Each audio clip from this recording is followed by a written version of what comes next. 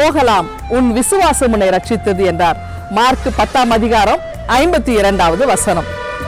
இந்த கொரோனா தொற்று காலத்தில் இந்த மருத்துவம் துறையானது எவ்வளோ பிஸ்னஸாக மாறி போனது நமக்கு தெரியும். எனக்கு கொரோனா வந்தப்போ ரொம்ப இந்த சின்ன சின்ன அந்த மருந்து மாத்திரைகள் கூட பார்த்தீங்கன்னா டபுள் ரேட் ட்ரிபிள் ரேட் போட்டு விற்க ஆரம்பிச்சாங்க. விற்பனைகள் அதிகமாகிடுச்சு எல்லாமே பிஸ்னஸ் ஆயிடுச்சு. மூணாயிரம் ரூபாய் மூணாயிரத்தி ஐநூறுரூபா இந்த அந்த ஸ்கேன் பார்த்தீங்கன்னா ஏழாயிரம் வரைக்கும் ஓட ஆரம்பிச்சுது. அப்போ நமக்கு வேறு வழி இல்லை. அப்போது இன்றைக்கு அந்த மருத்துவ துறையில் இருந்தால் ஒரு சிலர் என்ன பண்றா இந்த பணமாய் சம்பாதிப்பதற்கு ஒரு நேரமாக அவங்க இதை எடுத்துக்கிட்டாங்க. ஆனால் அந்த காலத்தில் பார்த்தீங்கன்னா இந்த மிஷினரிஸ்லாம் இந்த மாதிரிலாம் இல்லைங்க. நம்ம இந்தியா தேசத்துக்கு வந்து ஊழியம் செய்ய வந்தவங்க முதல்ல மருத்துவமனைகளை கட்டினாங்க. அப்புறம் ஸ்கூல்ஸ் ஹாஸ்டல்ஸ் இப்படி நிறைய விஷயங்களை அவங்க வந்து ஏற்படுத்தினாங்க. ஏன் மருத்துவமனைகள்லாம் கட்டினாங்கன்னா அவங்களுக்கு இந்த ஜீசஸோட அந்த ஹீலிங் மினிஸ்ட்ரி இருக்கு இல்லையா? அந்த சுகமளிக்கும் நலமளிக்கும் அந்த திருப்பணி மேலே ரொம்ப அவங்களுக்கு ஆர்வம் அதிகம். அதனால இந்திய தேசத்தில் இந்த மக்கள் எல்லாம் சுகாதாரத்தோடு வாழணும் நோய் நொடி இல்லாமல் வாழணும் அப்படின்னு அவங்க வந்து நினைச்சாங்க. அதனால தான் தியாக மனச மனப்பான்மையோட இவங்க அநேக மருத்துவமனைகளை உருவாக்கினாங்க.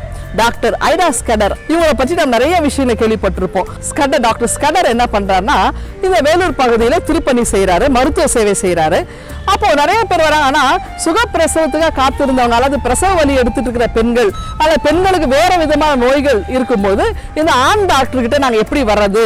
லேடி டாக்டர் தான் ஈஸியாக இருக்கும் போகலாம். எப்படி நான் ஜென்ஸ் கிட்ட வர்றது? அப்படின்னு நிறைய பேர் வரல. நிறைய பேர் அதனால செத்து கூட போனாங்க. இதை வந்து இந்த ஐடா அம்மா மூணு பெண்மணி கர்ப்ப நிறைமாத கர்ப்பிணி. இவங்க வந்து என்ன பண்ணுறாங்க எப்படியாவது வாங்க. உங்கள் எங்கள் அப்பா கிட்ட வந்து சுகம் பெற்றுங்க சுக பிரசவத்தை நாங்கள் ரெடி பண்ணுறோன்றாங்க ஆனால் அவங்க வந்து எப்படி நாங்கள் ஆண்கிட்ட வந்து நாங்கள் பிரசவத்தை பார்க்கறது சொல்லி அந்த பெண்கள் பிரசவ வலி எடுத்து செத்து போயிட்டாங்க. இதனால நமக்கு தெரியும். அப்போ இது வந்து அந்த அம்மாவுக்கு ஒரு பெரிய ஒரு உந்துதராக இருந்துச்சு. ரொம்ப வேதனையாக இருந்துச்சு. ஒன்று அமெரிக்கா தேசம் போயிட்டு மருத்துவ கல்வியெல்லாம் படித்து வந்து இன்னைக்கு வெள்ளூரில் இருக்கிற அந்த சிஎம்சி அவங்க தான் ஆரம்பித்தா கிறிஸ்டியன் மெடிக்கல் காலேஜ் அவங்க தான் ஆரம்பித்து பெண்களுக்காக சிறப்பாக அநேக பெண்களை அவங்க வேலையில் அமர்த்தி அநேக பெண்களை உற்சாகப்படுத்தி இந்த மருத்துவ சேவை செய்தாங்க. இந்த அம்மாவுக்கு ஏன் இது மேல ஒரு எண்ணம் அப்படின்னா ஆண்டவராக இயேசு கிறிஸ்து இவங்களுக்கு ஒரு முன்மாதிரியா இருக்கிறாரு. ஆண்டவராக இயேசு கிறிஸ்து பார்த்தீங்கன்னா தன்னுடைய ஊழியத்தில் இந்த சுகம் அளிக்கிற திருப்படி அதிகமாய் செய்தார். சில நேரங்களில் தொட்டு பார்க்காமலேயே அவர் சுகம் கொடுத்தாரு. சில வார்த்தையினாலே சுக கொடு சுகம் கொடுத்தாரு. சிலர் கை பிடிச்சு அல்லது கட்டி தழுவி அல்லது சேற்றில உமிழ்நீரை உண்டாக்கி இப்படி அவருடைய ஹீலிங் மினிஸ்ட்ரியில நிறைய படிநிலைகள் நிறைய வழிமுறைகள் இருந்துச்சு. அதுலேயும் அதுலயும் பார்த்தீங்கன்னா குறிப்பா எவிரினுடைய மகளை மறுத்து போனவளை உயிரோடு எழுப்புறாரு. அடுத்து தாயினூர் ஏழை தாயினுடைய அந்த மகனை எழுப்புறாரு. செத்து போனவங்கள.